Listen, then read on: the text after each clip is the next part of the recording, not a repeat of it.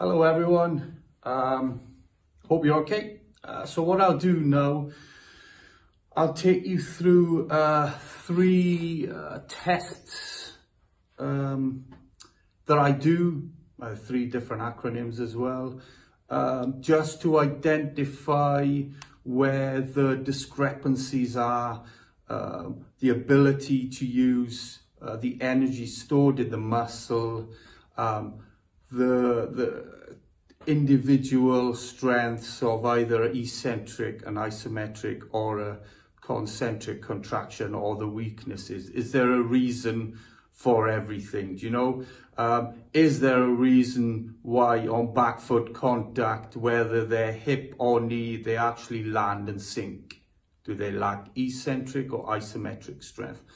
Does the system uh, identify where the flaws are? That's why you have to test. You know, it's uh, we need to get up to speed with with uh, sports performance and the human body and, and sports science. Okay, so the three things. Uh, I'm not going to delve too deep into it. Okay, but it's just a little insight for you guys at the inner circle.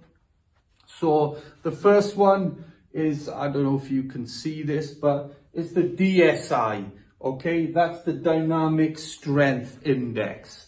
And that is the ability to use the force capacity of the system. So how much uh, of your strength do you use for uh, fast bowling or anything explosive? You know, it's like I say, it's about mass specific force but it's also how efficient your delivery system is.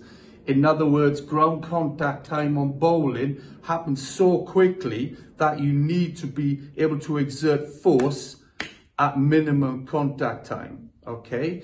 So that will ident DSI identifies um, how much of your strength potential you're using for explosive fast uh, skills. So the second one is RSI, and that is the reactive strength index, okay? So this is the ability to go from eccentric to concentric. Therefore, it's the ability to control the collision and use the energy stored. Okay, so it's on back foot contact, it's the abyss, uh, how much ability you have on landing to store, avoid deformation and explode.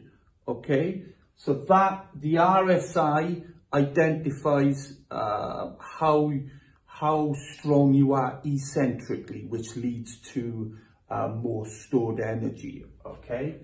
Uh, the second one is the RBI. That's something that's unique to PaceLab okay? It's the reactive bowling index and it's all to do with the impulse stride, okay? That dictates everything. So it's the ability to utilize the stored energy from uh, the impulse stride into back foot contact, okay?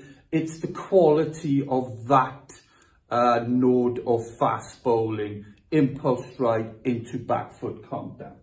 Okay, let me go through them individually. So the DSI, the Dynamic Strength Index, okay?